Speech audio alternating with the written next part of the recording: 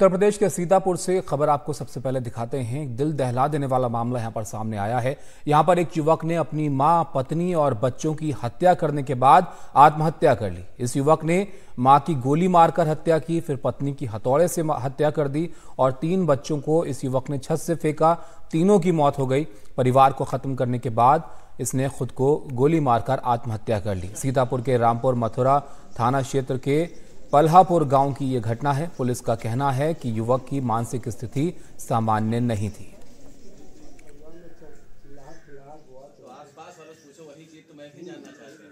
एक व्यक्ति जो मानसिक रूप से विक्षिप्त है इसका नाम अनुराग सिंह उम्र 45 वर्ष बताया जा रहा है। इसके द्वारा अपने परिवार के पाँच सदस्यों की हत्या करके स्वयं को गोली मारकर आत्महत्या कर ली गई है। आ, मौके से जब पुलिस के द्वारा जाँच की गई की गई तो वहाँ पर इनकी माता सावित्री देवी, जिनकी उम्र लगभग पैंसठ वर्ष, पत्नी, जिसकी उम्र लगभग चालीस वर्ष व तीन बच्चे, जिनकी उम्र क्रमशः बारह, नौ और छः वर्ष की है। इनको इन्होंने मारा है, उसके पश्चात खुद को मारा है। पुलिस के द्वारा, एफएसएल टीम के द्वारा संपूर्ण पहलुओं की जानकारी की जा रही है। व विस्तृत जाँच के पश्चात आवश्यक वैधानिक कार्रवाई की जा रही है। रणवीर हमारे सहयोगी हमारे साथ जुड़ गए हैं। रणवीर काफ़ी हैरान और परेशान करने वाली घटना है। ये मानसिक रूप से विक्षत व्यक्ति था लेकिन इसके पास ये हथियार कहाँ से आया? क्या इसके बैकग्राउंड के बारे में पता चल पाया है? क्या हालात इसके रहे जब ये वारदात को अंजाम दिया इसने? देखिए अब हालात तो खैर पुलिस इसी का इन्वेस्टिगेशन कर रही है क्योंकि पूरा परिवार ही हम्म। खत्म हो गया इस घटना में। अनुराग नाम का शख्स था और इसने अपनी माँ पत्नी और तीन बच्चों की पहले हत्या की उसके बाद आत्महत्या कर ली। बताया जा रहा है कि अनुराग शराब के नशे में भी था उस वक्त, घर के क्या हालात थे, ये तो खैर पड़ोसी या परिवार के जो लोग हैं, जो रिश्तेदार हैं, वही शायद बता पाएँगे, लेकिन पुलिस इसकी इन्वेस्टिगेशन कर रही है।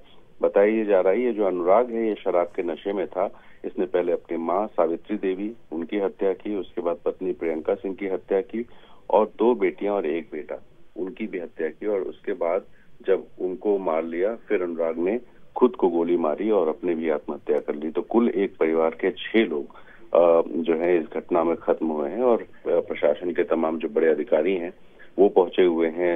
इस बात का इन्वेस्टिगेशन हो रहा है कि इसको जो मानसिक तौर पे विक्षिप्त बताया जा रहा था किस लेवल का इस तरह का पागलपन था। क्या लेवल ऐसा था कि पूरा परिवार खत्म कर दे या फिर जो का कुछ ऐसा तनाव था। आमतौर पर इस तरह की घटनाएँ किसी न किसी तनाव की वजह से बताया जाता है कि होती हैं।